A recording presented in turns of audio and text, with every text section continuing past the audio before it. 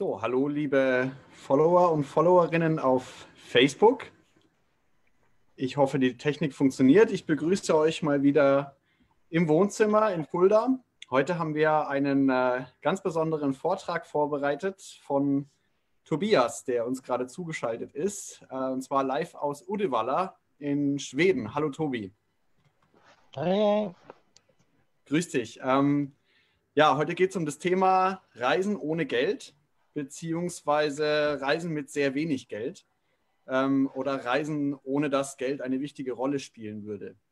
Ähm, mit Tobi haben wir heute quasi einen wirklichen Experten auf diesem Feld äh, zu Gast. Wir kennen uns schon sehr lange. Ich habe viel von ihm lernen dürfen, ähm, bin aufgrund seiner Inspiration und der von seiner Frau Paula selbst um, ja, um viele Ecken und Enden getrampt, ähm, habe viel dazulernen können und ja, freue mich, dass du heute dir die Zeit nimmst und mit uns ähm, deine Erfahrungen teilst. Ähm, bevor es losgeht, möchte ich ganz kurz ein paar ähm, organisatorische Dinge sagen. Und zwar wird es ähm, heute vorerst die letzte Veranstaltung, die ich mit moderiere. Ähm, ich werde in den kommenden Tagen Vater und bin da unglaublich äh, voller Vorfreude und ähm, werde mich natürlich dann erstmal um was anderes zu kümmern haben, als hier auf Facebook Veranstaltungen zu moderieren. Und deswegen möchte ich gleich hier am Anfang die Verantwortung quasi feierlich abgeben an meinen sehr kompetenten und gut aussehenden Kollegen Ahmad Bayern, ähm, der jetzt ins Bild kommt. Ähm, Ahmad ist schon seit einem Jahr mein Kollege beim Wohnzimmer, auch als Koordinator des Projekts und äh, ja, hilft mir ganz, ganz viel in meiner täglichen Arbeit und rückt jetzt quasi in eine neue Rolle als Moderator von Online-Veranstaltungen. Das ist eine Premiere heute und wir schauen mal, wie das funktioniert. Lasst uns gerne irgendwie ein Feedback da, ob es euch gefällt, ob Ahmad irgendwie was besser machen kann oder so. Ähm, und wir probieren es jetzt direkt mal aus. Ich verabschiede mich aus dem Bild. Einige werden sich freuen, dann ist das Bayern-Trikot nicht mehr zu sehen. ähm, ich wünsche euch viel Spaß, Ahmad, Tobi. Ähm, ich gucke von da vorne aus zu und freue mich auf den Vortrag. Macht's gut. Ja, genau. Also vielen Dank, Jochen, für diese Worte und für diese Vorstellung. Und äh, genau, also Jochen hat es erwähnt, ich mache das zum ersten Mal. Und ich würde mich auch freuen, also auf eure Feedbacks und Fragen und was ich in der Zukunft besser machen kann.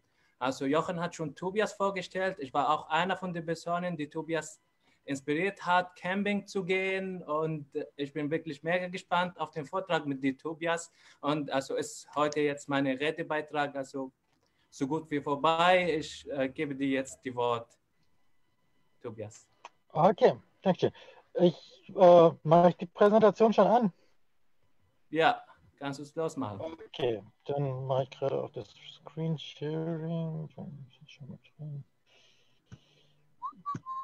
So. Okay. Ist drin, das Bild.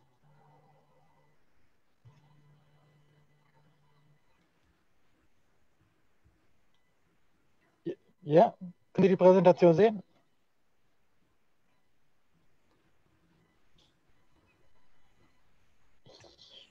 Ich gerade nichts mehr. Ahmad? Ja, also ich, du warst kurz weg. Hallo, hörst du mich wieder, Tobias? Ja, ja, ich höre dich. Ich habe dich ja. die ganze Zeit gehört. Ja, vielleicht kannst du uns auch okay. sagen, wo du gerade sitzt und warum die ja, ja, Verbindung ist, äh, also ein bisschen schlecht ist. Ja. Ja. Okay, genau. Äh, ja, Jochen lag ein bisschen in der Nähe nur. Ich bin nicht in Uddevalla, sondern in Fergelander gerade. Das ist ungefähr 40 Kilometer nördlich von Uddevalla. Hier ist so eine kleine Schule eigentlich wegen Corona sind die ganzen Leute nicht mehr hier. Es ist ein Internat und ähm, da ist so eine schöne Ecke, wo man eigentlich ganz gut sitzen kann und Internet von der Schule hat. Jetzt hat es aber angefangen zu regnen und deswegen habe ich mich unter so einem kleinen ja, Vorsprung verschanzt. Ich kann mal ganz kurz einen kleinen Umblick von hier geben. Ich hoffe, die Kamera sieht es. So und die grüne Umgebung. Kein Bergsee, aber immerhin. Ja, und ja, also gut, die Verbindung hoffen wir mal, das klappt. Eigentlich ist das Schulnetz ganz gut. Akku ist auf, vollgeladen. Ich hoffe, es funktioniert soweit. Paula ist mittlerweile auch vor Ort. Sie ist durch den Regen hergekommen. Grüß dich, Paula. Ja. Okay, soll ich gleich loslegen? Ja, kannst du jetzt loslegen. Okay, gut. Ähm, ja, also ich freue mich, den Vortrag hier fürs Wohnzimmer halten zu können. Ich habe das schon mal gemacht und auch im KPK schon mal gemacht. Ähm, ja, so Jochen hat eigentlich ganz schön schon gesagt. Es ist eigentlich, es steht zwar vom Reisen ohne Geld, aber eigentlich soll es gar nicht so wirklich um Geld gehen, sondern es geht um die Möglichkeit zu reisen und sich quasi da keine Steine in den Weg legen zu lassen und sich nicht davon abhalten zu lassen, dass ähm, ja, vielleicht das Portemonnaie gerade nicht so gut gefüllt ist. Ähm, ja, ich fange mit der Präsentation einfach dann direkt an. Ähm, ja, hier ein paar kleine Reiseimpressionen. Ähm, so, die Sicht für den Vortrag. Also Anfang, kleine Einleitung, dann ein kurzer Rückblick für mich, so wie ist das Jahr 2020 verlaufen. Das ist ja ein sehr außergewöhnliches Jahr für die meisten. Und wie es dazu gekommen ist, dass wir jetzt in Schweden gelandet sind. Dann ähm, so der Vortrag soll ein bisschen so eine Einführung sein. Also meine Hoffnung ist, dass sich der eine, die andere danach denken, ja, cool, hört sich gut an, könnte ich auch mal versuchen. Also möglichst niedrigschwellig, so einfache kleine Tipps, die man selber ein bisschen, ja, das Abenteuer beginnen kann. Ähm, so, deswegen habe ich den Blog mit Grundlagen. Das sind so die drei wichtigen Themen, die eigentlich so das Hauptsächliche beim Reisen oder die so das Reisen viel ausmachen, ist der Transport, die Unterkunft und die Verpflegung. Ähm, danach noch der Abschnitt mit der Ressourcen, was ich so benutze, was ich empfehlen kann. Und am Ende, am Ende gibt es eine Fragerunde. Wenn ihr Fragen zwischendurch habt, dann könnt ihr euch gegebenenfalls an Ahmed und dann gebt ihr die an mich weiter. Ansonsten, wenn ihr es zurückhalten könnt, könnt ihr es auch. Danach ist noch viel Zeit. Wie gesagt, das ist alles sehr niedrigschwellig. Ähm, hoffe aber dann, dass wir am Ende der Fragerunde noch mal ein bisschen mehr ins Detail gehen können und dann ruhig auch ein bisschen schwierigere Fragen beantworten können. So, ja, äh, Vorstellung habe ich eigentlich schon gemacht. So, mein Name ist Tobi. Ähm, bin ich so zum Hitchhiken und zu diesem Mal gekommen. Früher war es eigentlich für mich nur so eine Sache, wenn ich den Bus verpasst habe, dann irgendwie so schnell zur Klasse zu kommen oder ich habe jetzt hier vorgeschrieben, Vorgeschichte von Hosenfeld über Andorra zum Nordkap. Ähm, so Hosenfeld ist ein kleines Dorf in der Nähe von Fulda, wo es keine richtige Busverbindung gab. Und wenn ich da Freunde besucht habe, bin ich dann per Anhalter dahin. So meine erste größere Reise direkt nach der Schule mit einem Freund zusammen per Anhalter nach Andorra. Das war so das allererste Mal. So eine Mischung aus Mitfahrgelegenheit per Anhalter und Flugzeug. Und ähm, ja, kann so sagen, hat mich das Fieber ziemlich gepackt. Also seitdem ist so das Trampen, das Hitchhiken eigentlich immer, hat es immer eine große Rolle in meinem Leben gespielt. Manchmal eine Pause, aber dann ging es genauso wieder los. Mit, ja, mit zuletzt vor anderthalb Jahren oder so, dann mit einer der größten Reisen dann hoch bis zum Nordkap. Ähm, ja, was ist Motivation für dieses Reisen? So einmal ist es viel Grenzen überwinden, also gerade beim Trampen ist es, ja. Ja, also wir hören, also die Verbindung ist nicht das Beste. Vielleicht kannst du dein Video ausmachen und du kannst aber immerhin deine Präsentation mitteilen und vielleicht hören, können wir dich besser hören. Okay, kann ich machen. So. Ja. Guck mal, hörst du mich besser? Äh, ja, kannst du weiter erzählen? Okay, hoffen wir mal, dass es was hilft. Ja. Ähm, genau, also Grenzen überwinden und auch ein bisschen sich auf etwas einlassen, was man nicht so unter Kontrolle hat. Also gerade beim Anhalterfahren, man setzt sich bei fremden Leuten quasi ins Auto und da gehört schon einiges an Vertrauen auch dazu in die Menschen und eben nicht zu wissen, wo kommt man am Ende des Tages an. Es ist kein Fahrplan, es ist, bedeutet sehr viel dem Zufall überlassen.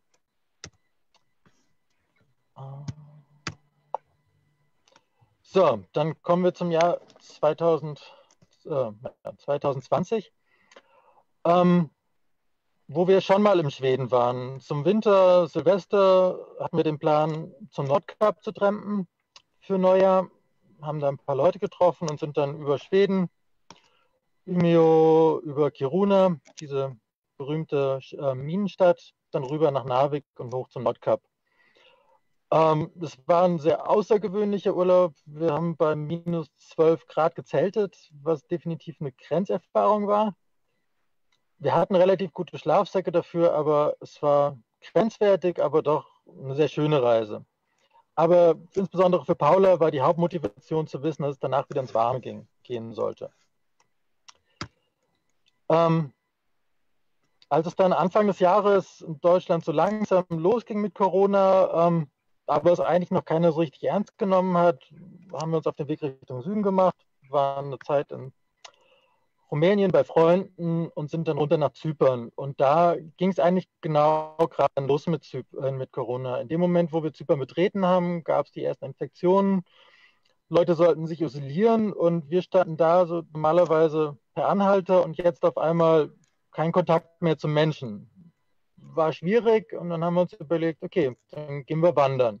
Haben uns quasi in die Berge zurückgezogen und sind dann wandern gegangen für zwei Wochen. Das war die Zeit, die man sich isolieren sollte. Ähm, genau nach diesen zwei Wochen kam dann auf einmal die Nachricht, nicht nur mehr Isolation, sondern Ausgangssperre. Das heißt, keiner durfte mehr sein Haus verlassen, was für uns ja schwierig war. Haus war ein Zelt. Weswegen ähm, ja im Endeffekt dann nur die einzige Möglichkeit für uns war, dann doch den Flug zurück nach Deutschland zu nehmen.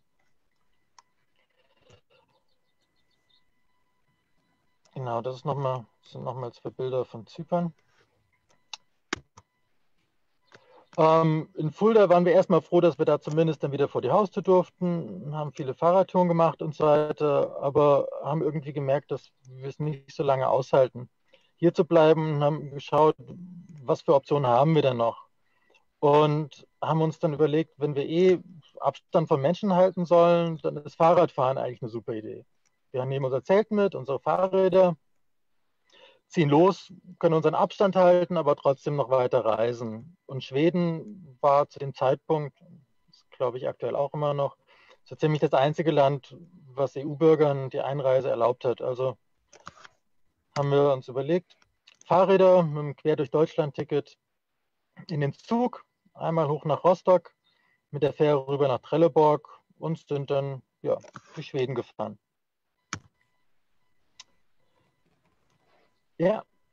Äh, äh, hey, es gibt eine Frage oder eine Bitte. Äh, kannst du ja. vielleicht ein bisschen langsamer und deutlicher sprechen? Okay. Danke. Ich versuch's mal. Ja. Ähm, ja. In ähm, Schweden angekommen sind wir die Küste entlang und ähm, haben die meiste Zeit dann in diesen Hütten übernachtet. Also auf dem Foto oben links sieht man das hier. Es gibt in Schweden ganz viele so wie Wanderhütten, Windschutzhütten heißen sie. So ein kleines Dach mit einer Feuerstelle davor und eigentlich ein traumhafter Ort zum Schlafen. Und davon gibt es so viele, dass es auch selbst zum Wandern sehr einfach möglich ist, quasi einfach von Hütte zu Hütte zu reisen. Das heißt, die 500 Kilometer, die wir bis zu unserem jetzigen Ort gereist sind, haben wir eigentlich nie unser Zelt aufbauen müssen, weil wir immer solche wunderschönen Hütten hatten.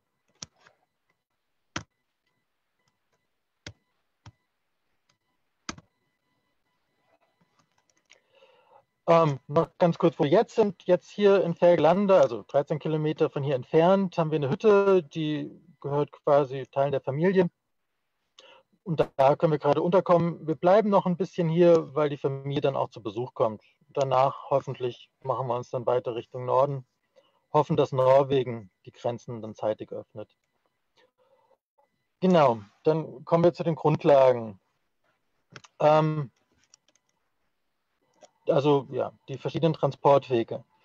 Äh, ganz kurz nochmal dazu mit dem Reisen ohne Geld und was die Intention dahinter ist. So ein bisschen bei mir war der Gedanke, insbesondere beim Studium.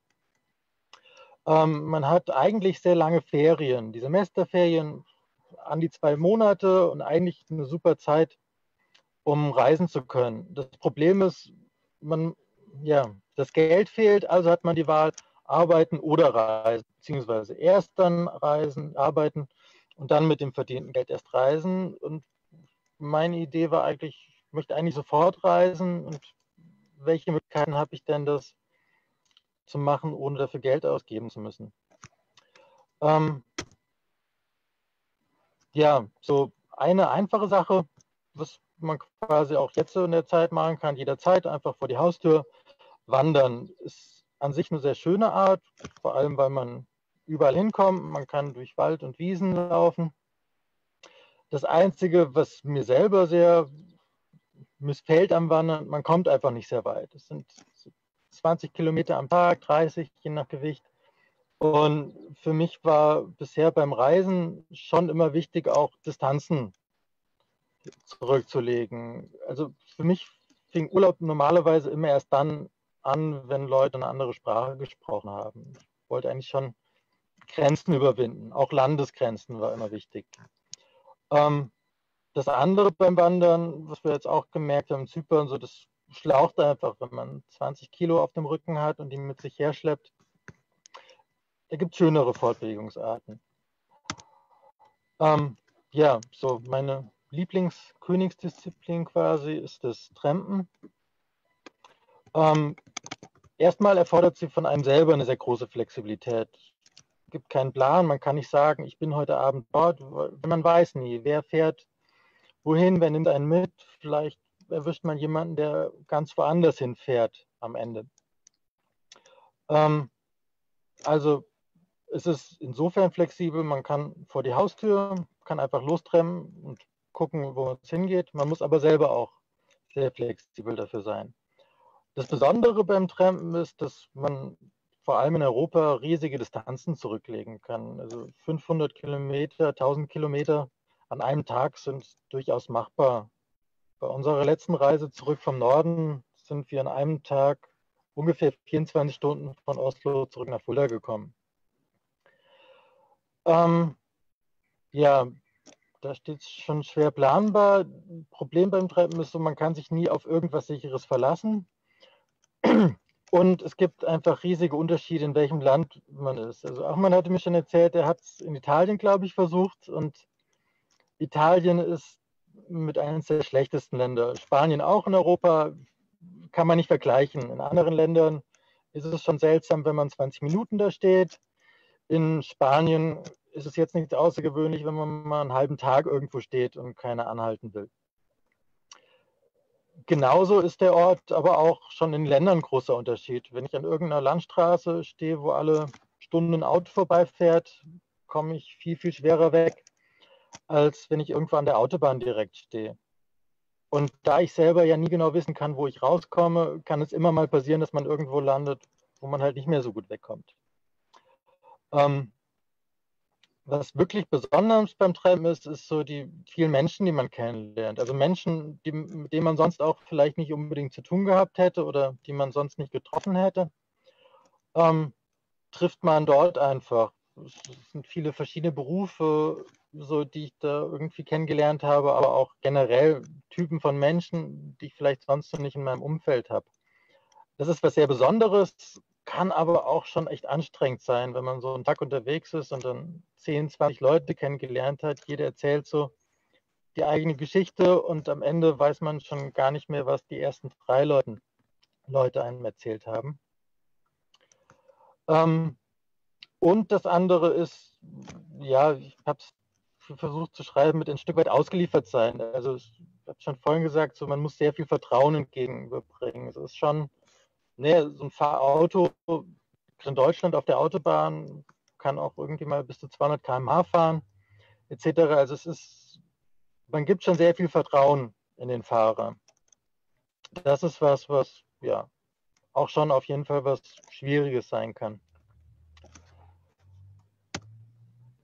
Ähm, ja, Fahrrad ist jetzt unsere erste richtig größere Reise und ich muss sagen, also ich liebe es. Also bisher hat mich vom Fahrradfahren eigentlich immer abgehalten, dass es, naja, ich eben nicht mal so eben 500 Kilometer, 1000 Kilometer machen kann. Also von wo wir jetzt sind, hoch bis zum Nordkap, weiß nicht, 2000 Kilometer, das ist schon 2000 Kilometer, das sind drei, vier Wochen mindestens, die wir da unterwegs sind, um hinzukommen. Ähm, was wunderschön ist, ist mit dem Gepäck, so dass man es schön auf dem Fahrrad verteilen kann und nicht mehr diese ganzen schweren Rucksacksachen auf dem Rücken tragen muss. Also viel, man fühlt sich viel freier bei der Bewegung einfach. Das ist nicht so ein Schleppen, was eine schöne Sache ist.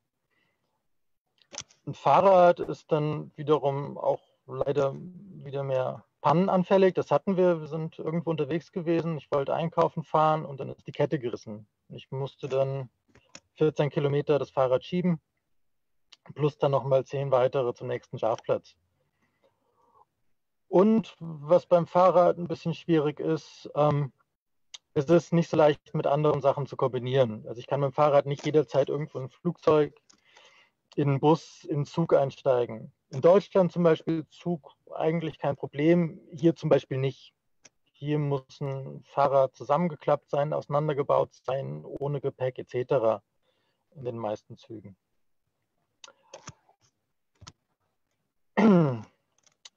Ja, andere Variante, ähm, die wir, glaube vorletztes Jahr probiert haben, ist mit dem Boot zu reisen. Ich bin, das hatte ich, glaube ich, im letzten Vortrag war das schon mal mit da drin, bin auf das Bootfahren dadurch gekommen, dass ich jemanden kennengelernt habe, der mit dem Boot einmal quer durch Europa gefahren ist, von der Nordsee einmal runter nach ähm, Rumänien zum Donaudelta und hatte einen Platz frei und hat dann angeboten, ob irgendjemand sich ihm anschließen möchte, beziehungsweise mehrere haben sich angeschlossen und dann dachte ich, ja, das würde ich gerne mal ausprobieren und bin ihm dann 500 Kilometer von irgendwo hinter Wien bis nach Budapest, äh, Belgrad, Serbien gefolgt. Und als ich das hier aufgeschrieben habe, war es wirklich schwierig für mich irgendwie zu beschreiben, was das Schöne am Bootfahren ist, weil eigentlich man kommt nicht besonders schnell ran, voran, man ist nicht flexibel, man ist da auf einem Fluss und dann kann ich nicht sagen, ich mache mal einen Schlenker zu der Stadt oder irgend sowas. Aber ich glaube, das Besondere am Bootfahren war genau das, dass man eben nicht irgendwie die Wahl hat, sondern dass es wirklich einfach nur geradeaus ist. Es, es nimmt einem so die Entscheidung ab. Es ist wirklich, hat was, was Meditatives fast. So, man paddelt und paddelt und paddelt in eine Richtung und versucht zum Ziel zu kommen. Dennoch ist gerade was besonders Schönes beim Bootfahren, man kommt einfach zu Orten, an die man sonst nicht kommen würde. Also Inseln, irgendwelche zu Fuß unzugänglichen Bereiche, ähm, ja, die man sonst nie erlebt hätte. Wir haben vor zwei, ein, zwei Jahren sind wir mit dem Boot dann, Paul und ich, wir haben das Boot von diesem, mit dem ich gepaddelt bin, dann abgekauft, ähm, sind wir durch Irland und ähm, sind dann zum Beispiel irgendwann auf einer Insel von, was war das, ähm, Hare Krishna-Leuten gelandet. Das war so eine Hare Krishna-Insel, die haben da Festivals.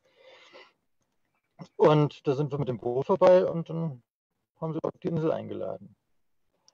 Ähm, Nochmal zu dem langsam, also das war eine Sache, die ich selber sehr stark unterschätzt habe. Mit der Strömung auf der Donau waren 80 Kilometer am Tag gut möglich. Als wir in Irland unterwegs waren auf Kanälen, waren 20, 30 Kilometer am Tag so das Maximale, was machbar war. Das kann schon relativ deprimierend sein, wenn man paddelt und dann sieht man die Leute, die an einem vorbeilaufen, weil sie einfach schneller laufen, als man am Paddeln ist, obwohl man da wirklich Kraft reinbringt. Ja.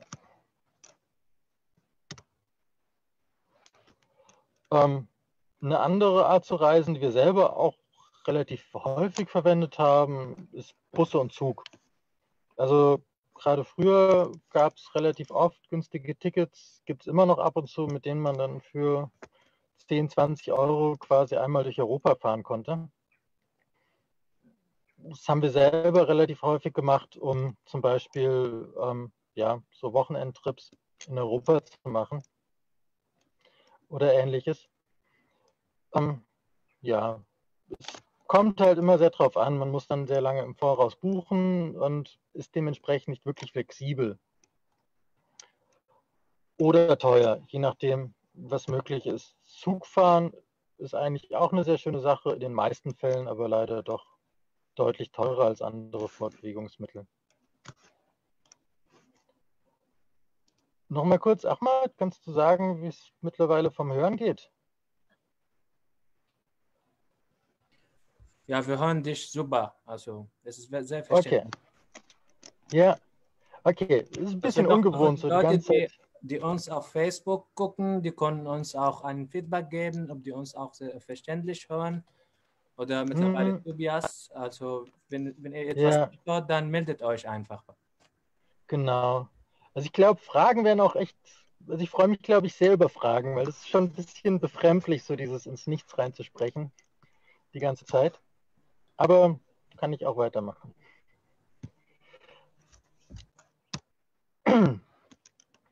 ähm, dann noch eine andere Variante, die jetzt nicht wirklich zum Reisen ohne Geld passt, weil sie doch eigentlich relativ kostenintensiv ist, ist so die Art, mit dem Auto zu reisen.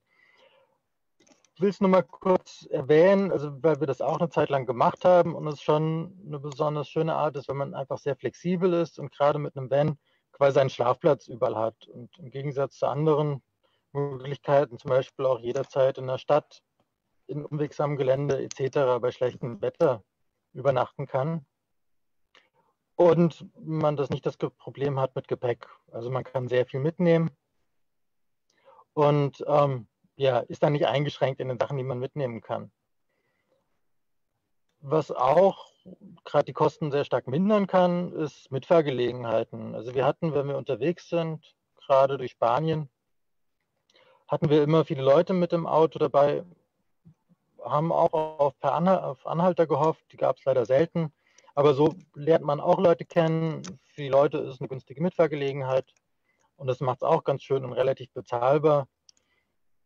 Am Ende hatten wir aber so oft Reparaturen und gerade im Ausland ist es dann eine unschöne Sache, wenn man so ausgeliefert ist mit dem Auto, dass ich mir es so in Zukunft nicht mehr vorstellen könnte.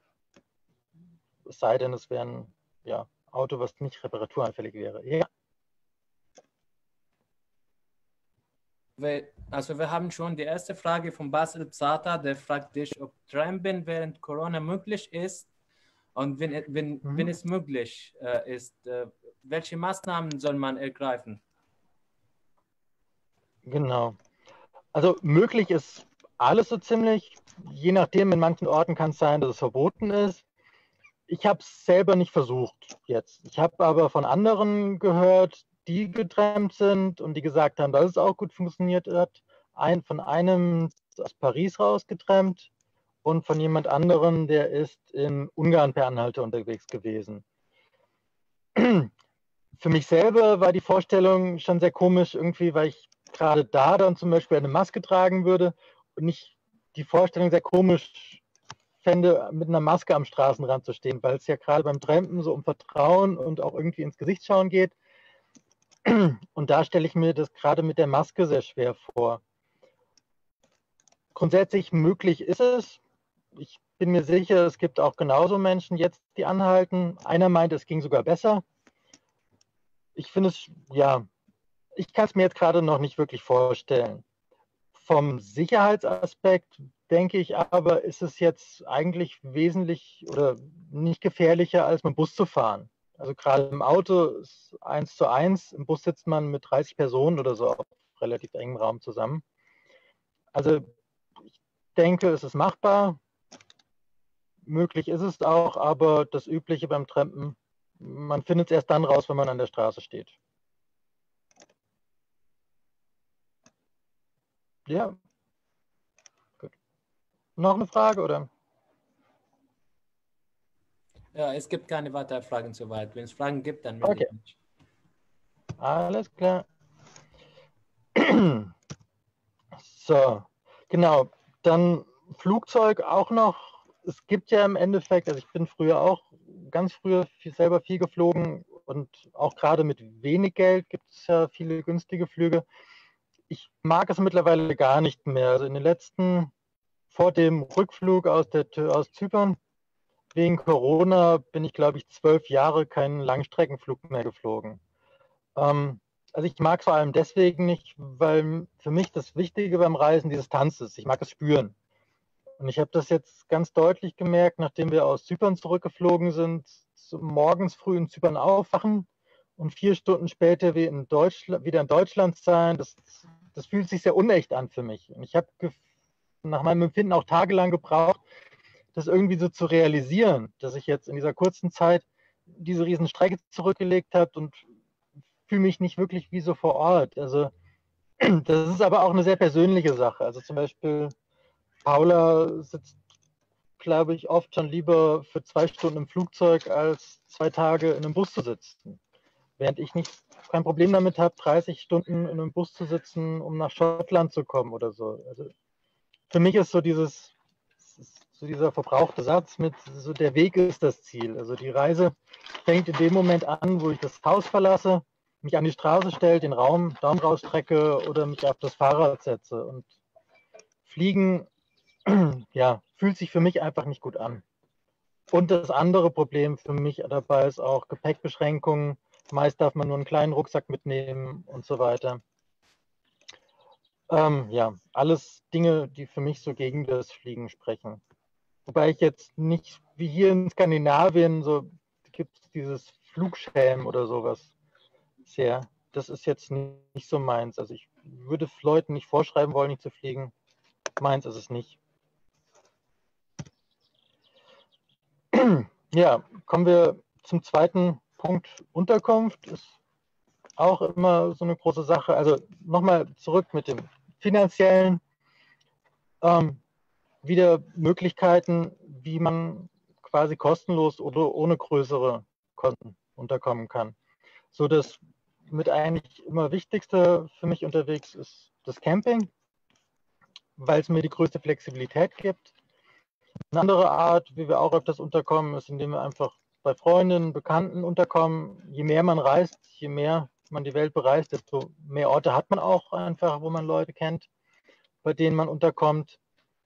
Und eine etwas ähnliche Sache, die in die Richtung geht, Hospitality Exchange. Also viele kennen das unter dem Begriff ähm, Couchsurfing oder anderen, wo man ja Leute kennenlernen kann, mit denen man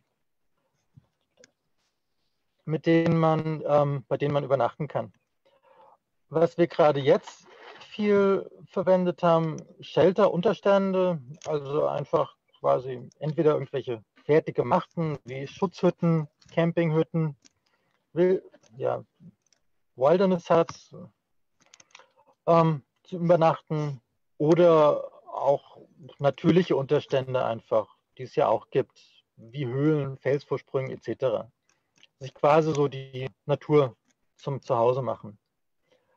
Ähm, dann Squats, quasi so, was man so als besetzte Häuser bezeichnet und Hostels und Hotels auch manchmal.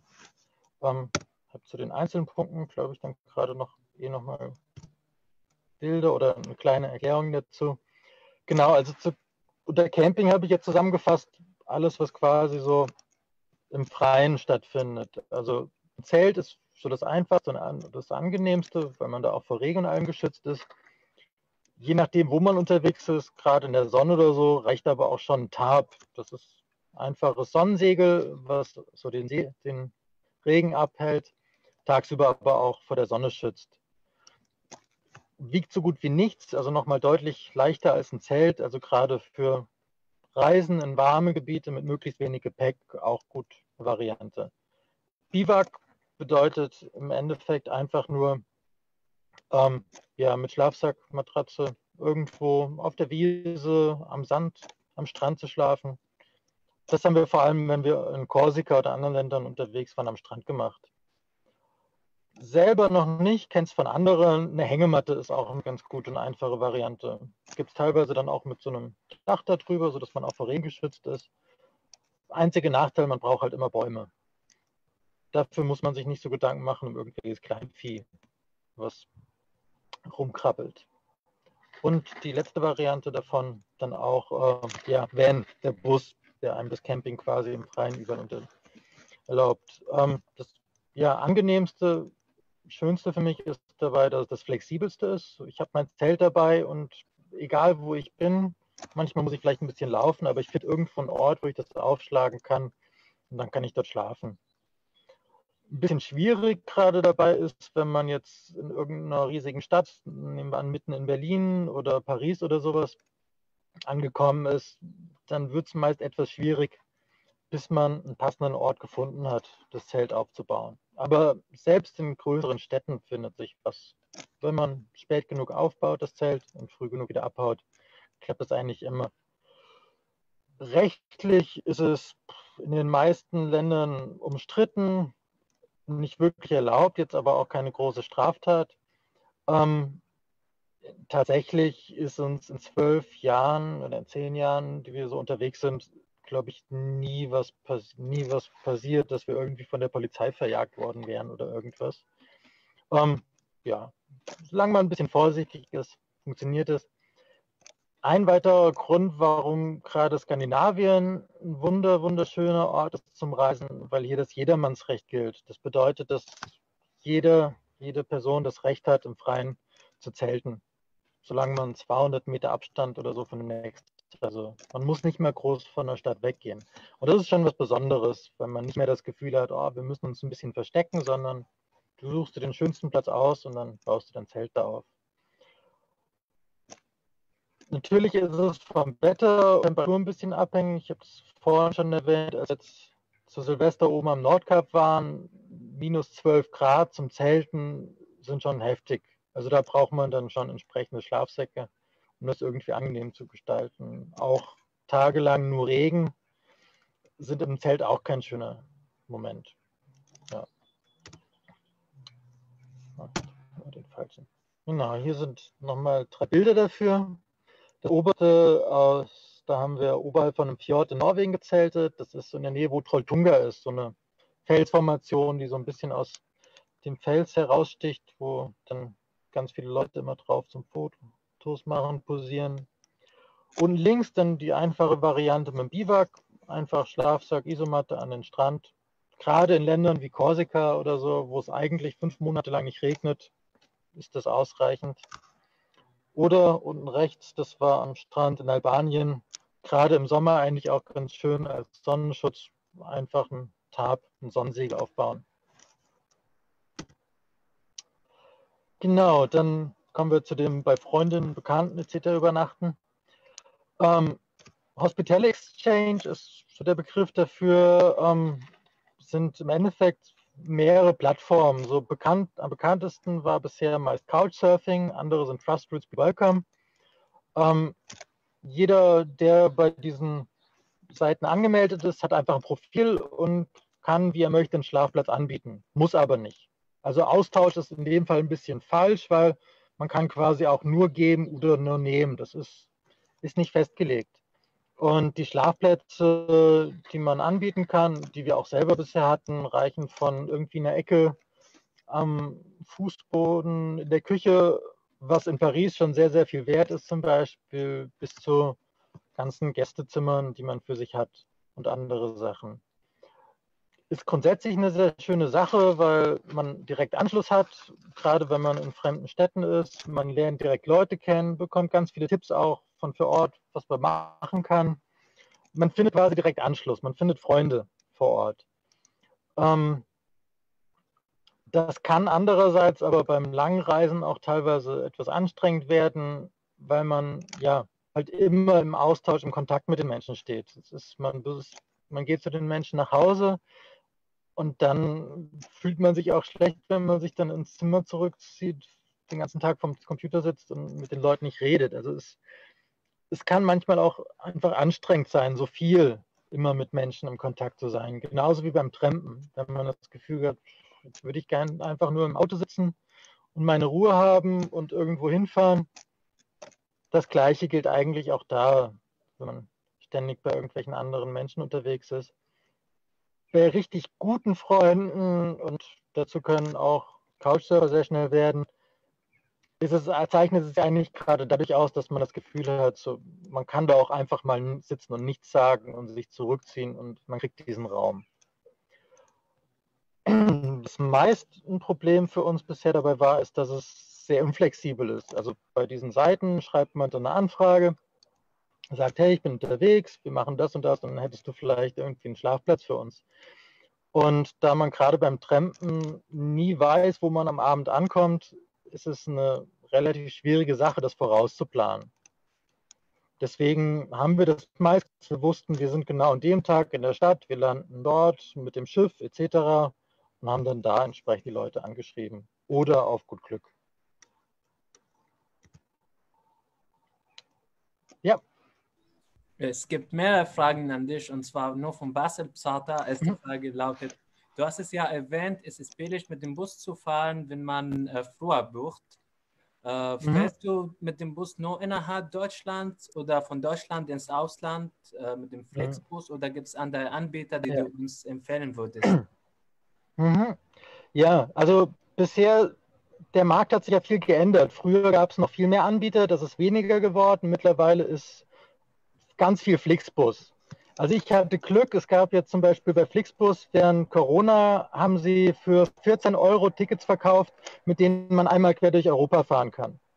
Das geht bis Ukraine, ist die weiteste Strecke.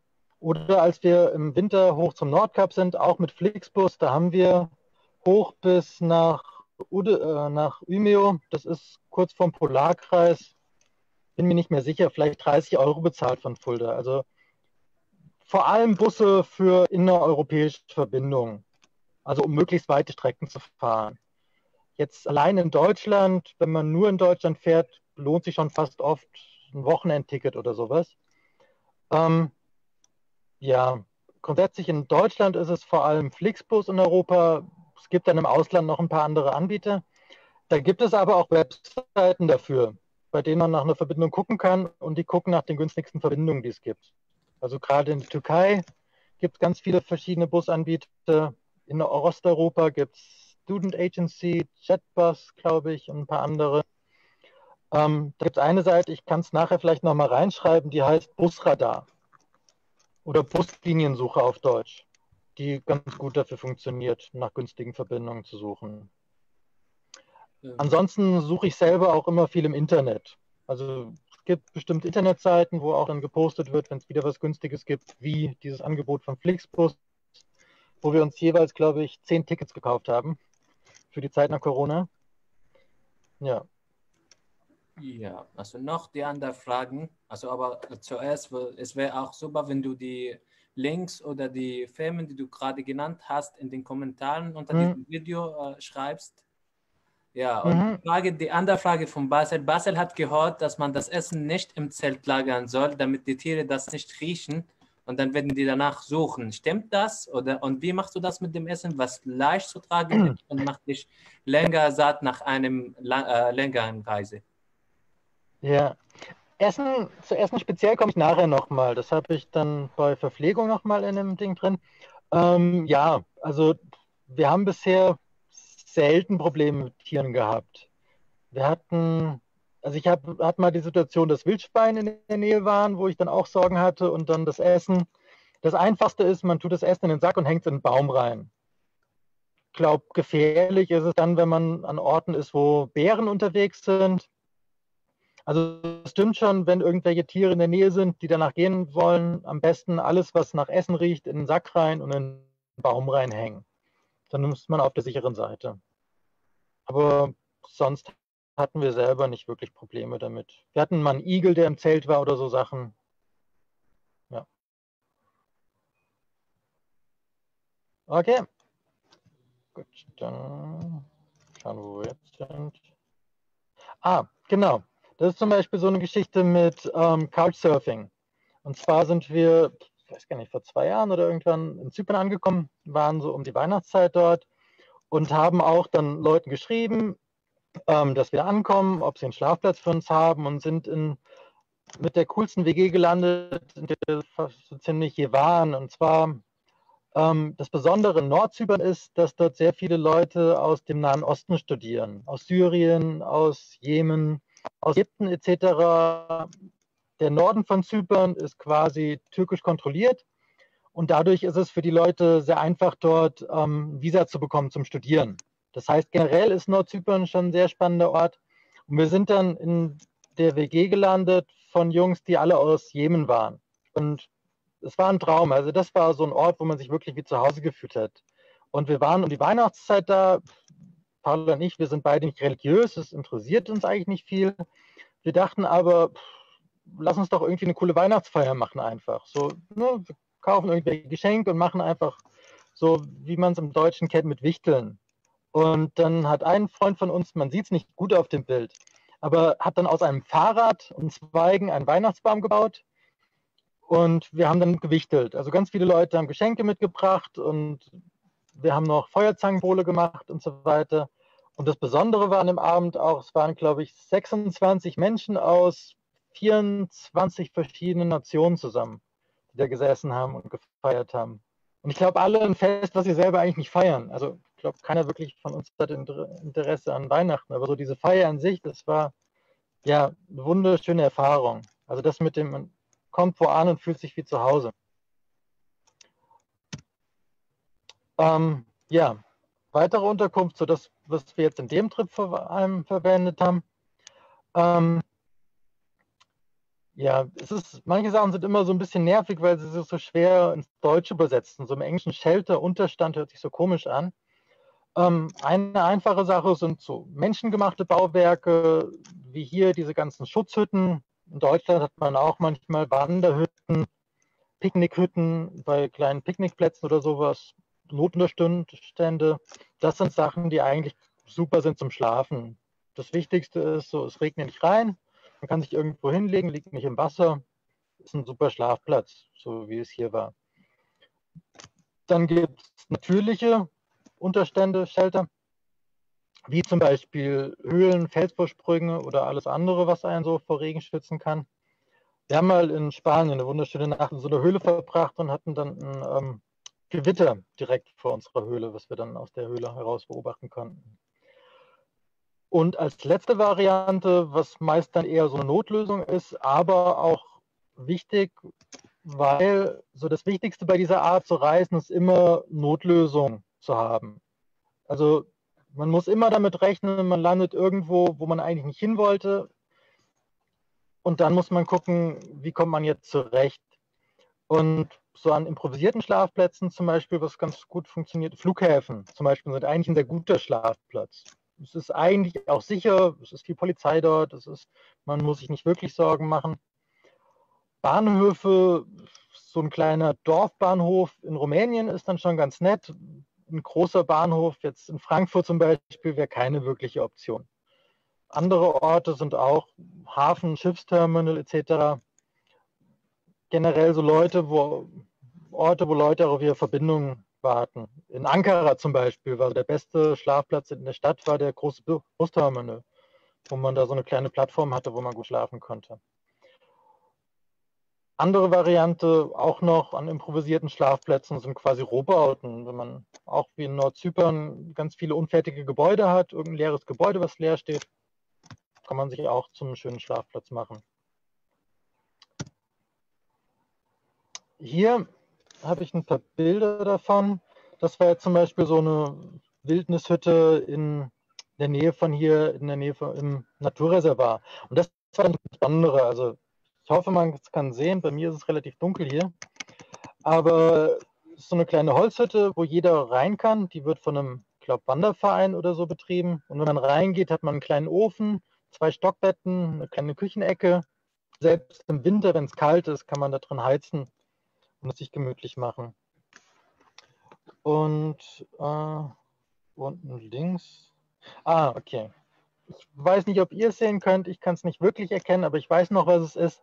Das war in Zypern. In der Nähe von Staudamm war so ein, ähm, gesagt, so ein kleiner Aussichtsturm, so eine Plattform aus Holz, wo man mit Treppen hochgehen konnte. Und da haben wir uns dann einfach auf der obersten Ebene bequem gemacht. Wir waren windgeschützt, regengeschützt und hatten eine wunderschöne Aussicht.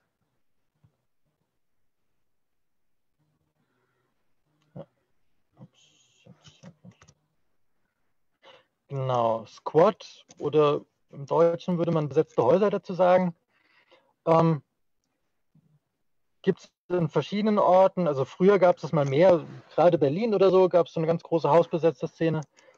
Aber ähm, gerade in Spanien gibt es davon mehrere. Hier exemplarisch, es waren glaube ich auch jetzt die einzigen beiden Male, wo wir in einem Squat übernachtet haben, links war ein wunderschöner Ort. Das war nicht mal ein Haus, sondern das war ein Boot. Das war ein altes Boot in Belgrad am Sava ein altes Dampfboot, was mal dem König von Serbien, das ist jemand, was sagt noch. Und das war so eine politische Gruppe, die Veranstaltungen gemacht haben, alles Mögliche. Und die das mit Zustimmung, also es war ein legales besetztes Haus des Besitzers, sich da ja, eingerichtet haben drin. Und auf dem Boot haben wir zwei Wochen gewohnt. Das wunder, wunderschöner Ort war. Vor allem, weil es quasi direkt im Zentrum war. Man. Es waren 20 Minuten der Innenstadt. Rechts, das war ein anderer Squad, auch eher untypisches Haus. Und zwar war das in ähm, Tarifa. In Spanien, direkt an der Grenze zwischen Atlantik und Mittelmeer, waren wir durch Zufall entdeckt, waren am Strand und haben dann eine Piratenflagge gesehen. Und haben dann gesehen, dass es so ein altes, verfallenes Haus war, wo Leute drin gewohnt haben. Ähm,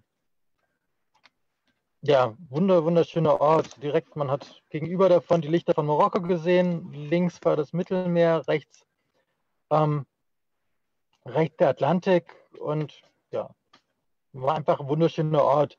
Selber wenig benutzt, aber ich kenne es von anderen Leuten, die unterwegs waren und dann immer, gerade in größeren Städten wie Spanien, dann nach dem Kader Ocupada, dem besetzten Haus fragen und dann gucken, ob sie da übernachten können.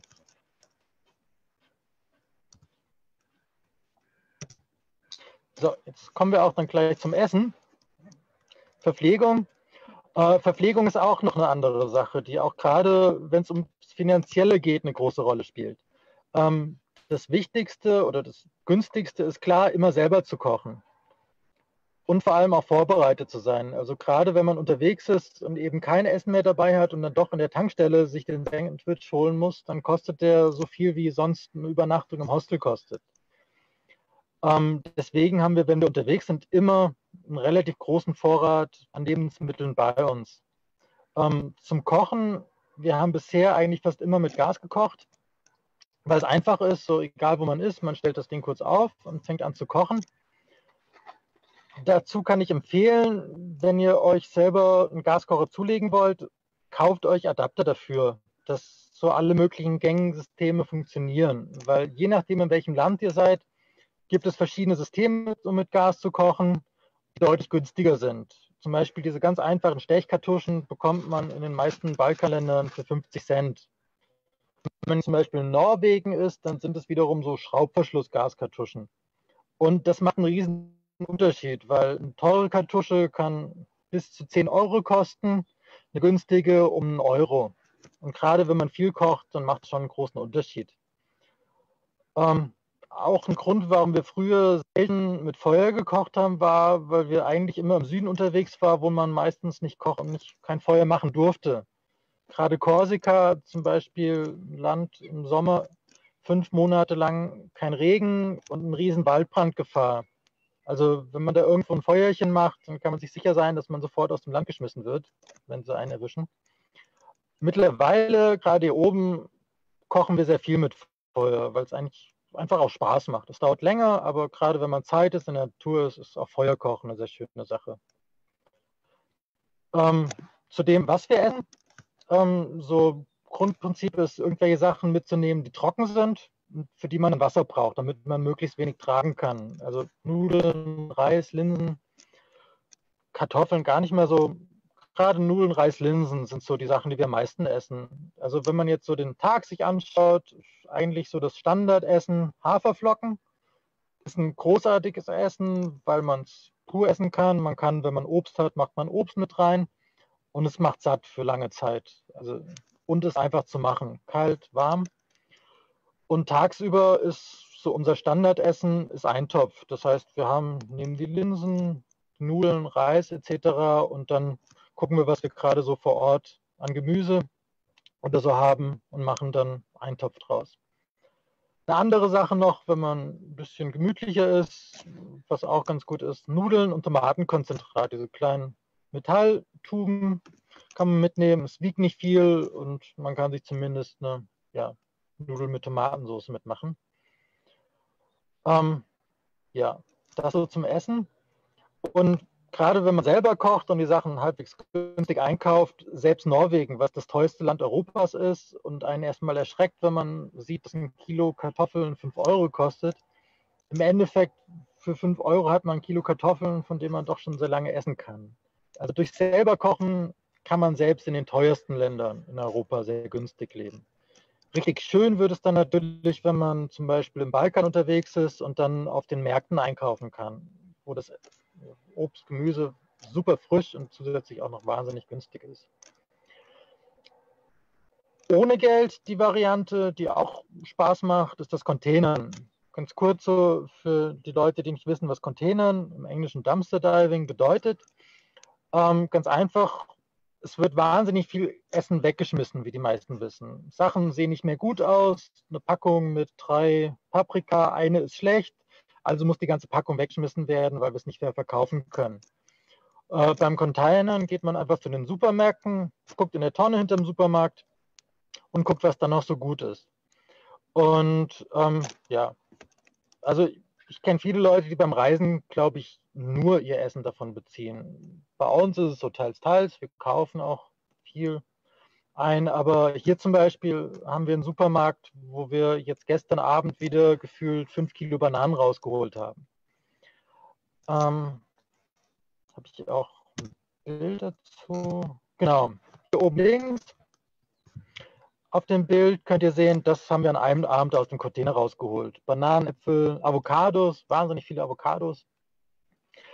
Eine Besonderheit noch, gerade hier oben in Skandinavien, was ich vor zwei Jahren durch einen Freund gelernt habe, ist, ähm, neben diesen klassischen Containern, also in den Mülltonnen gucken, ob da was ist, was hier sehr viel ist, in die Supermärkte reingehen und gucken, ob irgendwelche Sachen abgelaufen sind. Also gerade in Norwegen gab es eigentlich keinen Supermarkt, in dem wir nicht relativ viele Sachen gefunden haben, die abgelaufen sind das gerade bei Sachen, die eigentlich nicht schlecht werden, zum Beispiel Haferflocken oder Müsli, Nüsse etc.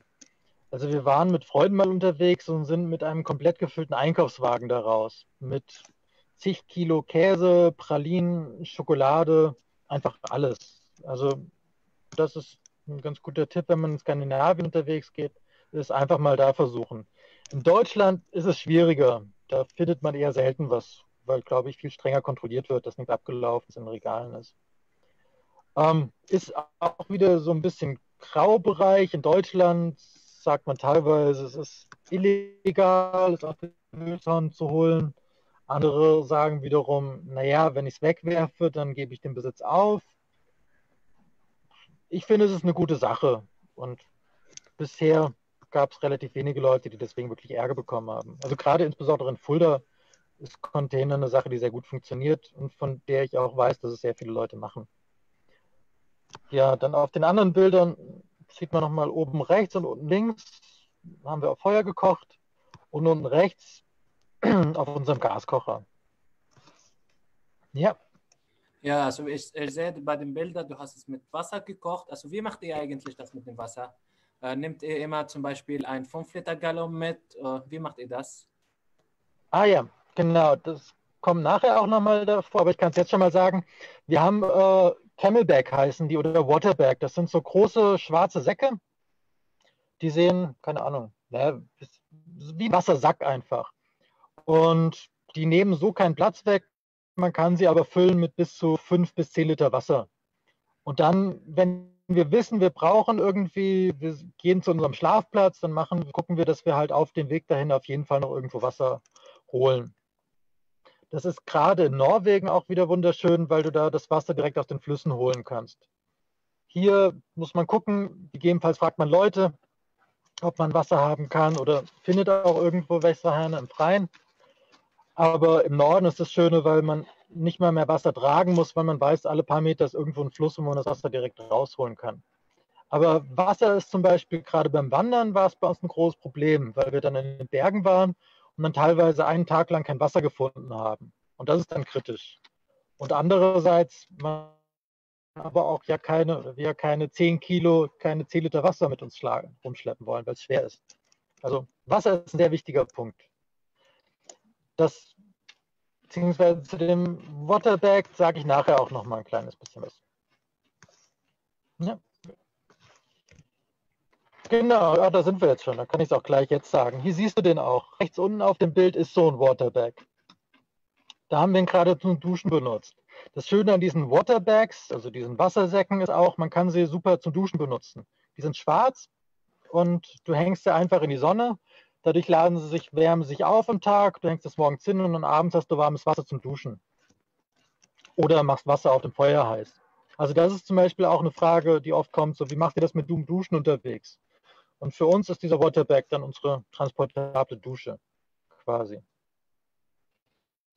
Als Kopfkissen kann man es auch noch benutzen zum Schlafen. Oder als Wärmflasche, wenn es kalt ist. Also hier in der Ausrüstung habe ich jetzt mal die Sachen aufgeschrieben, die für mich so das Wichtigste sind. Also ohne die ich quasi das Haus nicht verlassen würde. So, das ist klar der Rucksack, zumindest wenn ich zu Fuß unterwegs bin. Da haben wir auch immer, also wir haben sehr große Rucksäcke, weil wir auch sehr viel mit uns rumschleppen. So, da andere schaffen es mit weniger zu reisen. Bei uns klappt das nicht so wirklich. Was ich noch zu der ganzen Sachen sagen will, die meisten Sachen bekommt man gut gebraucht. Also gerade Rucksäcke, bei Matratzen ist es Schlafsäcken ein bisschen, Schlafsäcken ein bisschen schwieriger, aber viele Sachen empfehlen, erstmal bei eBay Kleinanzeigen oder sowas zu gucken. Wenn ihr verreisen wollt, guckt ihr, ob ihr die Sachen gebraucht bekommt, weil ihr gebraucht viel bessere, eine viel bessere Qualität zum gleichen Preis oder günstiger bekommt. Ähm, generell bei Ausrüstung, wenn du anfangen willst zu reisen, erstmal weniger kaufen oder mitnehmen. Vielleicht sogar fragen, ob man sich was ausleihen kann, weil du relativ früh selber merkst, was für Sachen für dich wichtig sind. Also für mich ist ein sehr großer Rucksack wichtig. Schlafsack ist auch relativ wichtig, aber zum Beispiel, als wir jetzt hoch zum ähm, Nordkap sind im Winter und wir wussten, es wird so kalt, wussten wir, dass wir gute Schlafsäcke brauchen. Ein richtig guter Schlafsack für minus 12 Grad, der kostet aber auch gleich 4, 5, 600 Euro. Was wir stattdessen gemacht haben, ist, wir haben uns Armeeschlafsäcke gekauft bei eBay für 40 Euro, die auch warm gehalten haben, die nur den großen Nachteil haben, sie sind einfach riesengroß und schwer. Aber für eine Reise zum Ausprobieren lohnt es sich nicht 500 Euro für einen Schlafsack auszugeben. Deswegen ruhig immer erstmal mit den einfachen, kleineren Sachen anfangen. Irgendwann, wenn ich weiß, ich will jeden Winter im Tiefschnee verbringen, dann lohnt sich vielleicht auch irgendwann mal so ein großer, teurer Schlafsack. Bisher tut es das nicht. Genauso ist Matratze für mich sehr wichtig, weil wir einfach Monate unterwegs sind und dann ist es quasi das Bett. Deswegen brauche ich da was, was komfortabel ist. Ähm, Zelt ist es vor allem wichtig, dass es ähm, leicht ist für uns. So, sonst kann ich bei Zelt nicht viel sagen. Kann man auch mit dem einfachsten anfangen. Beim Topf mittlerweile für uns das Wichtigste, dass da auf dem Feuer funktioniert. Vorher hatten wir so einen aus Silikon, den konnte man zusammenfalten. Das war ganz schön, weil der Topf dann wirklich so groß wurde wie eine Frisbee. Hat aber das Problem gehabt, dass man damit nicht auf dem Feuer kochen konnte. Dann der Kocher, auch wieder, wenn die Reise ist, gedacht ist, nur irgendwie hoch nach Skandinavien und es reicht auch irgendwie nur auf Feuer zu kochen, dann reicht es auch. Für uns ist es eigentlich wichtig, weil wir auch jederzeit, wenn wir irgendwo in der Stadt sind, irgendwo, wo es nicht passt oder wie jetzt, wo ich hier sitze unter diesem Vorsprung, wenn ich hier kochen würde, hier kann ich kein Feuer machen. Mit so einem Gaskocher könnte ich ja auch einfach kochen. Dann nochmal dazu die Adapter. Die kosten auch nicht viel, ähm, mit denen man dann auch alle verschiedenen Systeme betreiben kann. Weil es ist ärgerlich, man landet in irgendeinem Land und dann findet man heraus, so die Gaskartuschen dort gibt es für meinen Kocher nicht. Und auf keinen Fall irgend so speziellen Campinggas-Klicksystem oder so kaufen. Die sind komfortabel, kosten aber das Zehnfache von einem ganz einfachen. Dann äh, der Camelback, also wieder diese Wassertasche. Auch sehr wichtig, was immer dabei sein sollte, ist eine Erste-Hilfe-Tasche du weißt nie, wo du unterwegs bist, wo du landest. Es ist wichtig, immer vor, bereit zu sein für jede Situation, vorbereitet zu sein. Und dementsprechend ist natürlich eine Erste-Hilfe-Tasche wichtig. Dann für mich mit einer der wichtigsten Sachen auch das Handy. Da komme ich nachher noch mal ein bisschen dazu, warum das für mich so wichtig ist. Und was mittlerweile auch für mich mit einer der wichtigsten Sachen geworden ist, das Solarpanel. So vorher war beim Reisen das ständige Problem äh, der Stromversorgung. Das heißt, immer suchen nach einer Steckdose. Und wenn man dann irgendwo unterwegs ist und dann ist irgendwie nach ein paar Stunden kein Strom mehr, dann funktioniert die Karte nicht mehr und alles funktioniert nicht mehr. Und so Solarpanels reichen komplett, um alles, was man dabei hat, aufzuladen. Im Sommer zumindest. Und da ist es dann auch egal, ob man an irgendeinem Strand ist, wo es keine Steckdosen gibt und hat trotzdem Strom für zwei Wochen.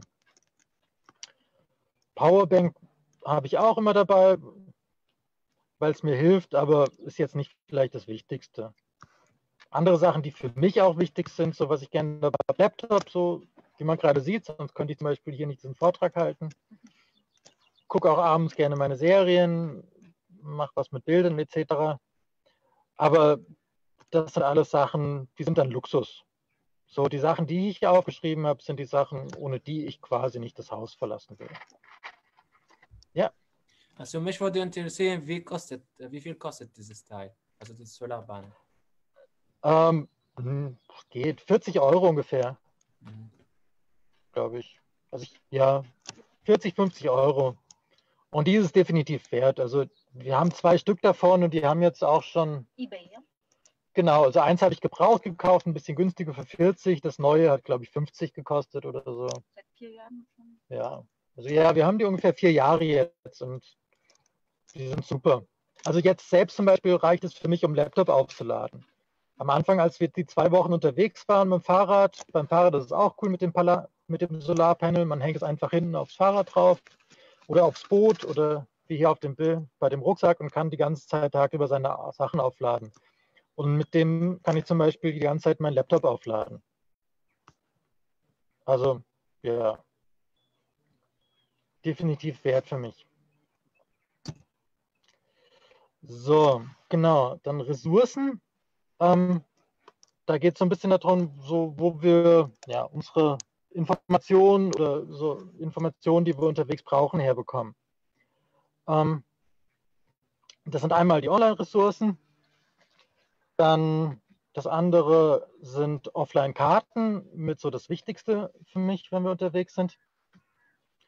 Und dann die Dictionaries. Komme ich gleich dazu, was die einzelnen Sachen sind. Ähm, Online-Ressourcen sind zum Beispiel, ich muss mal ganz kurz hier nach meinem Akku gucken, dass der nicht leer wird. Ähm, so, also eine ganz wichtige Sache zum Beispiel für mich sind Facebook-Gruppen. So als wir damals mit dem Boot nach Irland sind, wussten wir nicht, wie ist die Lage vor Ort. Muss ich das Boot anmelden? Wie kann ich Schleusen benutzen? Wie ist die rechtliche Lage? Darf ich da, komme ich da lang? Wo kriege ich Karten etc.? Und ich habe auf Ebay geschaut, da gab es eine Facebook-Gruppe von Bootsbesitzern in Irland. Und es war ein Traum. Also ich habe kurz geschrieben mit den Fragen und sofort haben mir Leute die Karten zugeschickt. Wir wurden von Leuten nach Hause eingeladen. Wenn wir an der Strecke vorbeikommen, wenn wir was gebraucht haben, konnten wir der Gruppe Bescheid sagen. Also Facebook, so kritisch man es mit vielen Sachen sehen kann, ist für mich immer noch so, für was Netzwerke anbetrifft, absolut unverzichtbar. Also das ist so eine Sache, die ich zum Beispiel nicht verstehe, wenn ich heute von vielen Leuten oder wie ich höre, dass Facebook quasi nur noch für ältere Menschen ist und junge Menschen eigentlich kein Facebook mehr benutzen, wo ich nicht so ganz verstehe, wie kriegen Menschen dann Kontakt? Also was mache ich mit Instagram? Wie hilft mir Instagram rauszufinden, wie ich mit einem Boot durch Irland komme? So, das, wenn das jemand erklären kann, würde mich sehr interessieren. Ähm, weiß nicht, ob Hashtags dafür reichen. Ähm, mit das Wichtigste für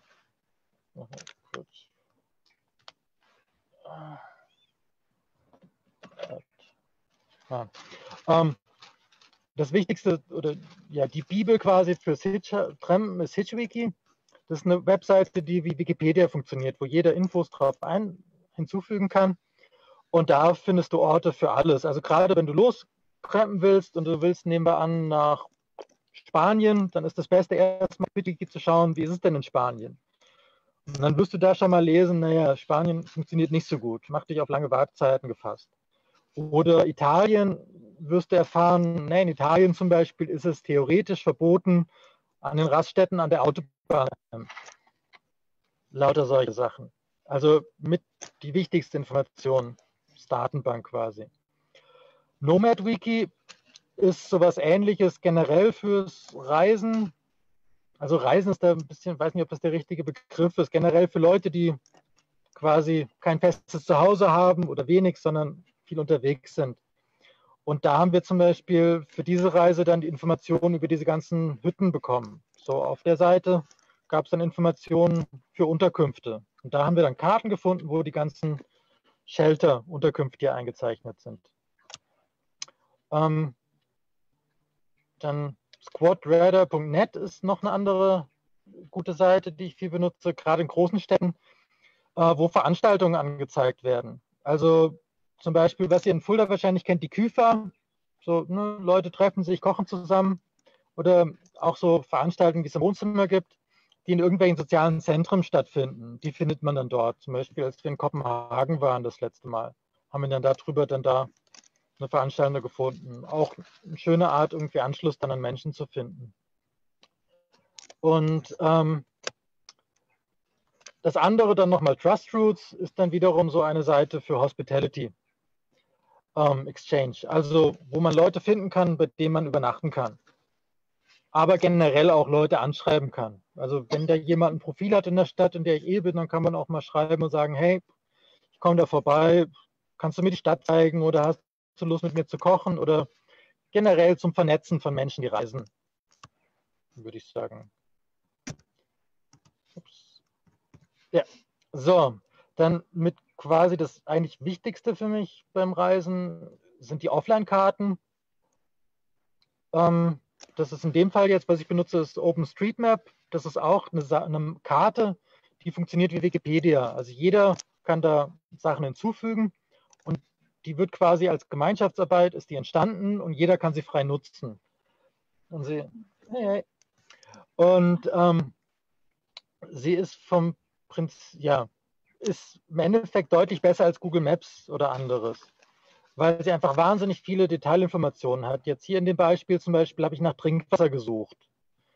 Ich bin irgendwo, brauche Wasser, gebe Trinkwasser ein und er zeigt mir auf der Karte, wo sind die nächsten Orte, wo ich Trinkwasser finden kann. Und das Ganze mit vielen anderen Sachen, mit Shelter. Ich brauche einen Platz zum Schlafen, also gebe ich ein Shelter und er zeigt mir auf der Karte an, wo sind die Unterkünfte. Und gleichzeitig kann ich aber auch selber, wenn ich unterwegs bin und sehe, okay, das hier, der Wasserhahn ist noch nicht auf der Karte, das Häuschen hier ist noch nicht auf der Karte, kann ich, wenn ich vorbeikomme, selber dieses Häuschen da eintragen. Also und vor allem, man kann es offline benutzen. Das heißt, ich kann die ganzen Karten aufs Handy runterladen, braucht schon sehr viel Speicher, aber gerade auch dort, wo man kein Internet hat, also es ist wahnsinnig hilfreich. Also auch eine Sache, ohne die ich quasi das Haus nicht mehr verlassen würde. Ähm, ähnlich auch mit den Dictionaries. Das sind quasi ähm, ja, Datenbanken, die man offline am Handy benutzen kann. Da gibt es eine Software, die ich benutze. Hier steht auch der Link dazu. Generell kann man sich, glaube ich, auch statt mitschreiben, können Leute auch einfach einen Screenshot machen. Aber sonst kann man die Sachen auch nochmal in die Kommentare runterschreiben. Ähm, Art Dictionary heißt das und für die Software, die macht man aufs Handy und dann kann man die Datenbanken runterladen. Das ist dann eine Datei.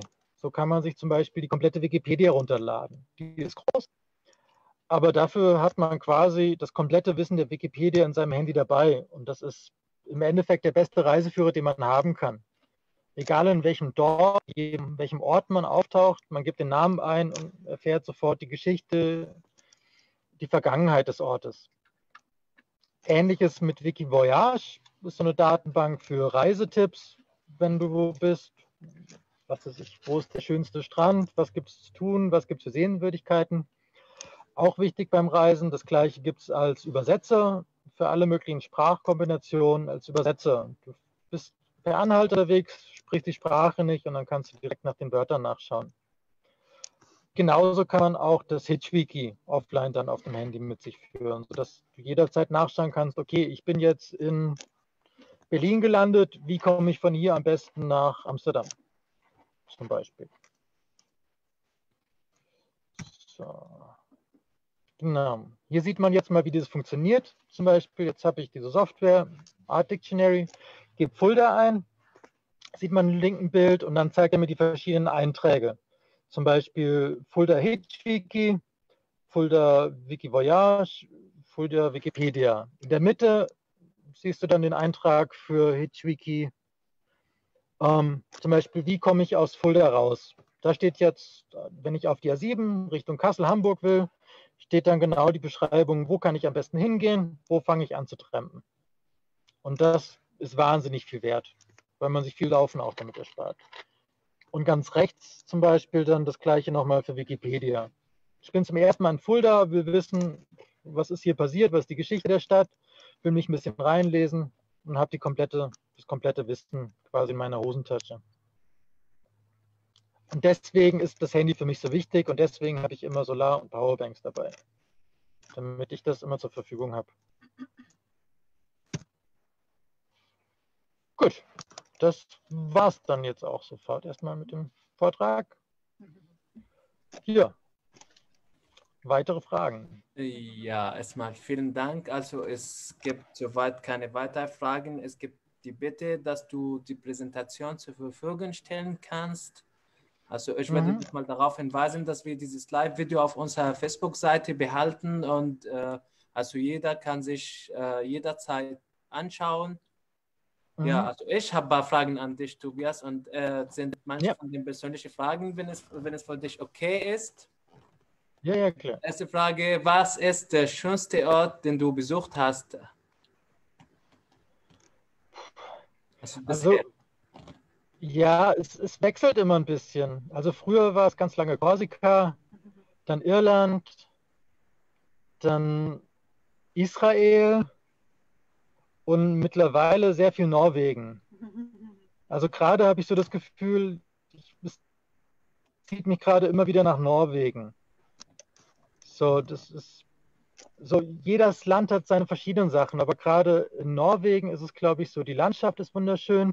Trampen funktioniert gut, das frische Wasser, was man überall hat und dass man einfach überall zelten darf. Das ist, glaube ich, so eine Kombination, die es wirklich zu so einem Traumort macht. Also ich kann jede Person, die anfangen möchte, irgendwie zu reisen, auf jeden Fall empfehlen, Skandinavien anzufangen, weil es einfach sehr einfach ist. So, man hat nicht das Problem, jetzt einen Schlafplatz zu suchen. Man kann einfach das Zelt irgendwo aufbauen. Man hat nicht das Problem, nach Wasser zu suchen. Man, Schweden ist nicht so leicht zum Trampen. Es ist schwer hier, aber es ist trotzdem ein wunderschönes Land. Äh, ja, hast du schon eine Erfahrung gemacht und dann hast du gesagt, ich werde niemals reisen ohne Geld oder bis jetzt waren alle Erfahrungen gut und äh, schön? Ähm, ja, alles schön. Also natürlich, wir waren schon verzweifelt. Also gerade beim Trampen, es ist nachts, es ist kalt, du willst nur noch schlafen, du bist aber irgendwo mitten auf der Autobahn und hoffst auf irgendjemanden, der dich mitnimmt. Also es gibt schon Momente, wo du denkst, fuck, ich wäre jetzt gern in einem Hotel oder zu Hause. Ich glaube, Tobias, wir hören dich nicht mehr. Äh, hörst du mich?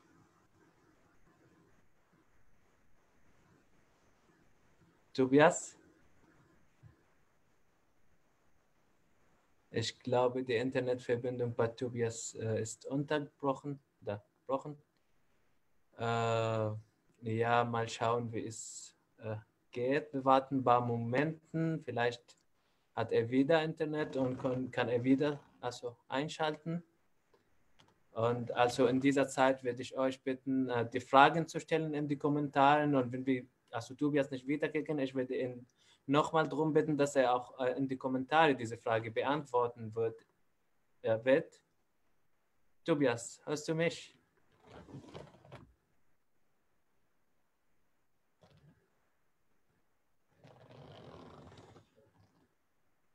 Ah, okay. Genau, also bis jetzt haben wir für die nächste Zeit keine Veranstaltung geplant, aber wir sind in der Planung eine sehr spannende äh, Veranstaltung. Okay, Tobias ist ausgetreten. Wir warten nochmal auf Tobias.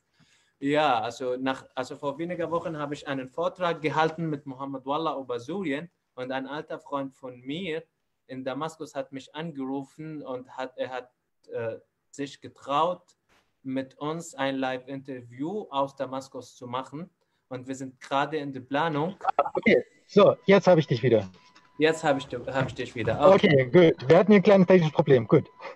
Ja, wir hatten ein, ein, äh, ein, ja, und es gibt Fragen. Also in dieser Zeit okay. habe ich zwei Fragen bekommen. Mhm. Erste Frage lautet, äh, wie viel Kleidung benötigt ihr ungefähr für eine Reise? Ah, das kommt ganz darauf an, wo man unterwegs ist. Also ich würde sagen, normal habe ich zwei Sätze Klamotten dabei. So von allem zwei Stück und dann waschen wir die regelmäßig unterwegs.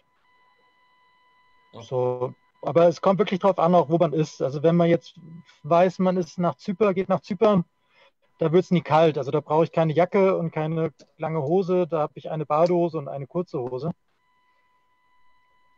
Aber hängt wirklich davon ab, wo man unterwegs ist. Okay, das hängt von dem äh, Reiseziel ab. Die mhm. zweite Frage, wie viel ist ausreichend? Ich nehme an, das mit dem Geld. Nee, es kommt darauf an, wofür. Also im Endeffekt ist 0 Euro möglich. Aber jetzt nehmen wir an, das Mindeste, was du, wenn du jetzt nicht Containers brauchst, ist Geld für Essen. Und das ist, da reichen 2 Euro am Tag oder sowas, wenn du günstig einkaufst. 3 Euro vielleicht. Ja, also soweit gibt es keine weiteren Fragen. Und äh, ja, hast du schon mal eine gefährliche Situation erlebt oder wo du dich äh, äh gefährdet gefühlt hast? Ja, also so das Schlimmste bisher war, wenn Leute einfach gerast sind. Also wir hatten das vor allem in Korsika mehrmals, dass Leute einfach wahnsinnig schnell gefahren sind und wir hatten eine Frau, die hat uns mitgenommen und die ist wirklich wie eine Rennfahrerin, ist die an den Kurven am Berg entlang gerutscht und so weiter. Also das war so, das sind, waren die gruseligsten Erfahrungen eigentlich. Ja. Wenn Leute rasen. Da ist es eigentlich, das ist, möchte ich nur kurz sagen, so eigentlich ist es da das Sinnvollste immer dann auch einfach zu sagen, nö, reicht mir, ich laufe lieber so. Das, das, da fehlt dann oft so die Überwindung. So, aber eigentlich sollte man in solchen Momenten dann sagen, nee, ich laufe lieber, das ist das Risiko nicht wert. Aber oft fehlt da die Überwindung dann in dem Moment.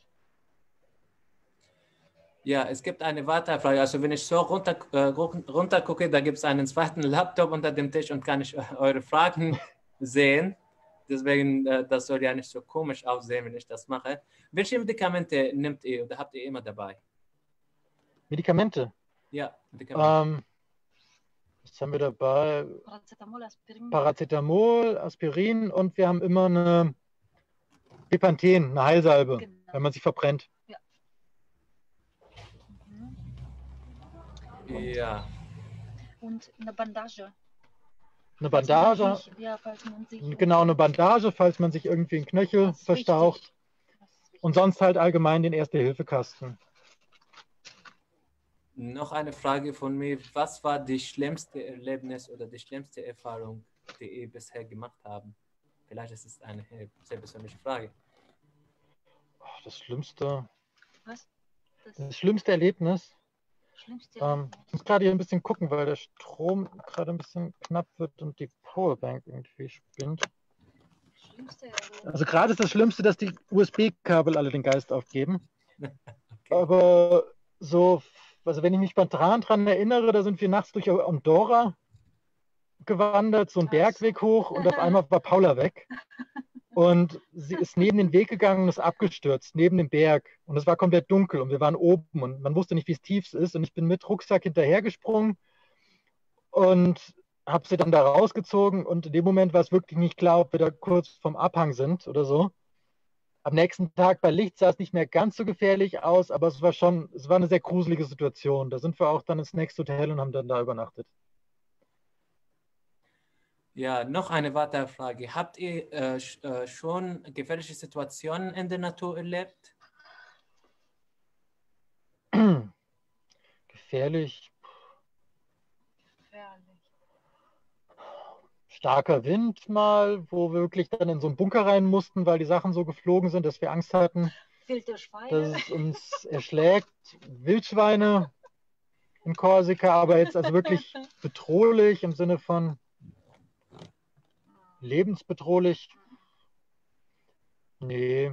Also es gab schon mal so Sachen, wenn wir geklettert sind oder so, die ein bisschen riskant waren. aber. Aber da hätten wir jetzt dann vielleicht ein gebrochenes Bein riskiert, aber jetzt nicht unser Leben unbedingt. Okay.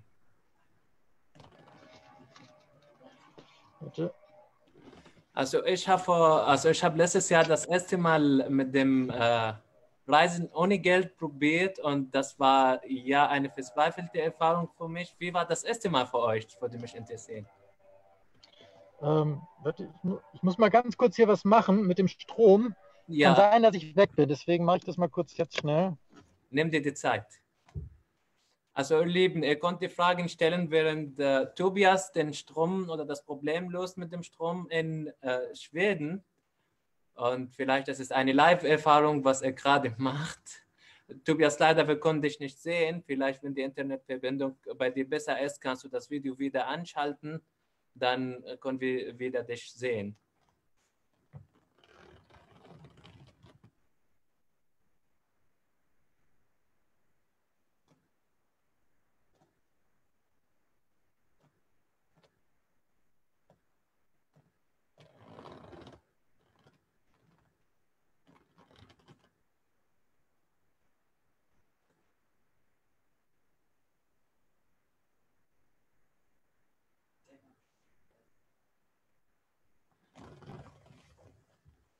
Also ja, ich habe die.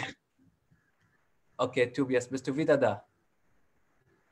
Ich glaube, Tobias ist gerade ausgetreten, werde ich kurz erzählen von dem, von dem ersten Mal. Also ich habe Italien ausgesucht und Tobias hat es schon erwähnt. Das ist schwierig da, also Reisen ohne Geld zu machen mit dem Trampen und so weiter. Da kam ich eigentlich nicht so weit. Okay. Ich bin wieder da. Du bist wieder da, ja. Ich habe versucht, ein bisschen von meiner Erfahrung zu erzählen in Ja. deiner Abwesenheit. Hm, Ja, genau. Hast du das Problem mit dem Strom gelöst, mit dem Kabel? Ich hoffe es, ich bin mir nicht so sicher. Das ist das Hauptproblem, dass die ganzen USB-Kabel alle aufgeben. nach eins nach dem anderen. Deswegen, ich hoffe mal, es funktioniert. Ja. Also, welche Insekten haben euch begegnet? Insekten. Insekten, ja. Äh, hier haben wir ganz viele mittlerweile Zecken und Moskitos. Mhm. Also das Schlimmste, was wir hatten, als wir hoch nach Finnland sind und Norwegen vor zwei Jahren, da mussten wir wirklich solche Netze über den Kopf anziehen, weil alles voll mit Moskitos war. Und in Serbien, als wir auf dem Boot gewohnt haben, war auch alles voll mit, mit Mücken. Ja, mit den Moskitos haben, habt ihr schon ein bestimmtes Spray oder Insektenspray au- auf euren Körper auch benutzt? Das habe ich schon gemacht in Italien, weil mit Moskitos Ja. war schrecklich. Je, wir haben ganz normale, also in, wo war's? In Schottland haben alle gesagt, es gibt so eine Creme, die mit Zitrone ist, die sie gut helfen soll, aber Ich musste einmal im Krankenhaus. Ah. Aber ich habe jetzt auch keinen speziellen Tipp gegen Moskitos. Also wir haben ganz oft Feuer gemacht in der Hoffnung, dass sie dann verschwinden. Genau, also bis jetzt gibt es keine weiteren Fragen. Ja, du hast uns immer noch nicht erzählt, wie es war beim ersten Mal mit, bei euch mit dem Reisen ohne Geld, Trampen und so weiter.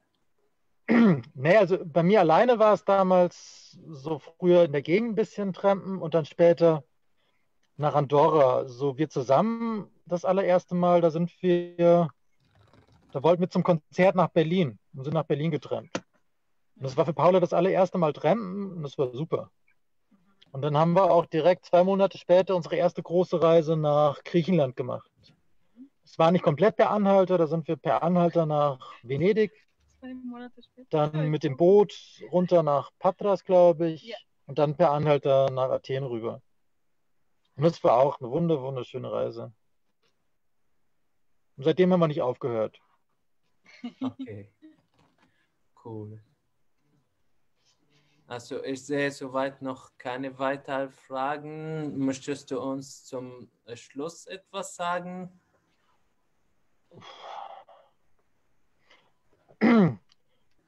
ich, fällt mir gerade nicht so wirklich ein. Also ich, ich würde so sagen, dass es generell jedem mal empfehlen würde zu probieren. Also gerade zum Beispiel Trampen. Und zum Anfang würde ich allen empfehlen, es zu zweit zu machen. Es ist sicherer und ihr fühlt euch vor allem auch ja, sicherer und es ist auch nicht so langweilig. Okay, also es Also gibt auf noch jeden Fall am Anfang. Okay. Äh, wie verteidigt ihr euch äh, gegen Tieren, wenn ihr von Tieren angegriffen äh, wurdet, wurdet? Habt ihr zum Beispiel Pfefferspray oder ein Messer Ja. dabei zum Verteidigen? Also was wir früher, wir hatten früher mal Pfefferspray dabei. Wir haben es nie benutzt. Das Problem bei Pfefferspray ist, dass es in, den, in vielen Ländern ist es verboten. Also in vielen Ländern ist Pfefferspray wie eine Waffe. Und wenn du damit erwischt wirst, ist das wie als hättest du fast als hättest du eine Pistole dabei. Also deswegen haben wir damit aufgehört. Sonst so, was wir teilweise, was? Pfeife. Pfeife? Ähm, was wir selber ganz oft machen, Hunde ist eigentlich das Hauptproblem, wenn wir unterwegs sind. Dass wir irgendwie Hunde ankommen, uns anbellen und dann ist so das Einfachste, immer so einen Stein nehmen, hochheben und so tun, als würde man werfen wollen. Das hilft eigentlich immer bei allen Hunden. Und andere Tiere hatten wir bisher nicht, die uns irgendwie zu nahe gekommen wären. Okay, ich bedanke mich bei dir, Tobias, für diesen tollen Vortrag. Also du hast mich damals inspiriert und das hast du auch schon wieder und ich möchte Mhm. also gerne jetzt äh, also Richtung Norden trampen und reisen, wenn die Pandemie vorbei ist und wenn Ja, die äh, Situation locker ist. Also vielen Ja. Dank für, diese, für diesen tollen Ja. Informationen und dass du äh, mit uns deine Erfahrungen geteilt hast. Also vielen Dank dafür. gerne, gerne. Norden ist gerade jetzt wunderschön. Wir haben jetzt Mitternachtssonne. Es wird hier nicht mehr dunkel nachts. Also selbst hier. Es wird gegen 11, 12 wird es ein kleines bisschen dunkel und dann eine Stunde später ist es wieder hell. Und das ist eine wunder, wunderschöne Erfahrung. Als wir ganz oben waren, man hat ununterbrochen Sonne. Mitten, mitternachts noch immer Sonnenschein. Das ist eine wunderschöne Erfahrung. Also kann ich dir sehr, sehr empfehlen. Also vielen Dank. Also ich persönlich werde ich in Ja. meinem Semesterferien machen. Das hast du schon erwähnt. Man hat Zeit im Semesterferien und Hm, wenig Geld und ich werde auch die Gelegenheit nutzen, Richtung Norden also zu fahren und mich inspirieren zu lassen von dem wunderschönen Natur da. Und hm. ich möchte mich auch wiederum bei allen Zuschauern und alle, die äh, Fragen gestellt haben, bedanken. Also vielen Dank fürs Zuschauen und äh, wir sehen uns bald. Mach's gut. Danke, Tobias. Ciao. Dankeschön. Ciao.